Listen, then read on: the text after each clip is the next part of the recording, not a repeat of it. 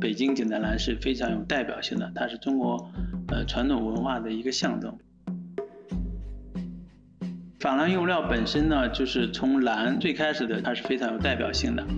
那我就用了各种深浅不一，大概二十多种不同的蓝，构成了这么一个瓶子。它代表着包容，它也代表着深浅不一的蔚蓝色的太平洋。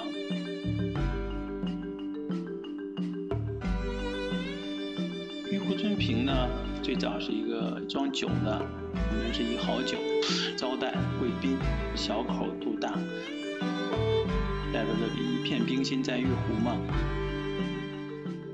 景泰蓝它是以丝为笔，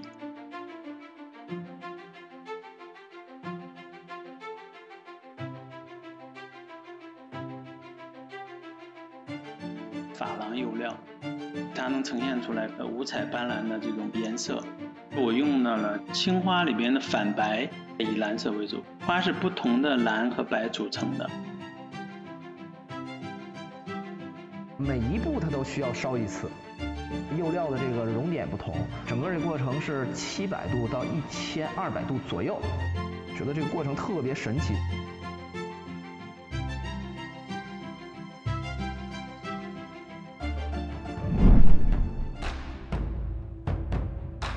雕漆当中最鲜明的一个特点就是红色，中国红。中国人确实对这个红颜色它是情有独钟，就是很喜庆啊。很有吉祥寓意在里头。雕漆呢，它能体现出红颜色的这种沉稳，它单纯的一个红色足够的震撼。落叶类的这种漆树，夜间的时候呢，这个漆树就会更快的分泌这个漆。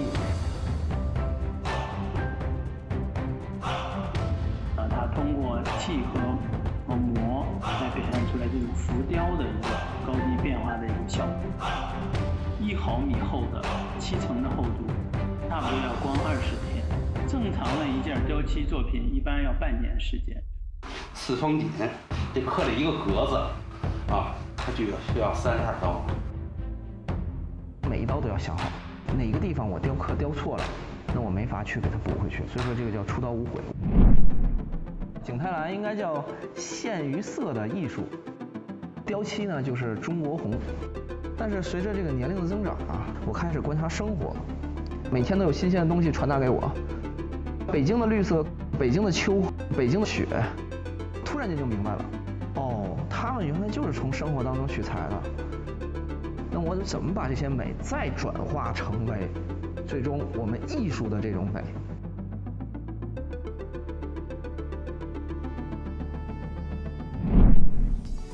嗯，这些年基本上也在尝试符合我们大众老百姓需求的一些新的产品正在打样。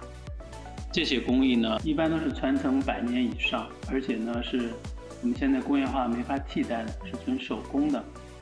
团队里边的平均年龄二十七岁左右，越来越多的年轻人会很感兴趣，结合我们当代的这个审美，借助这种国际交往的场合，也能把中国不同的工艺、精彩的文化能呃推向全世界。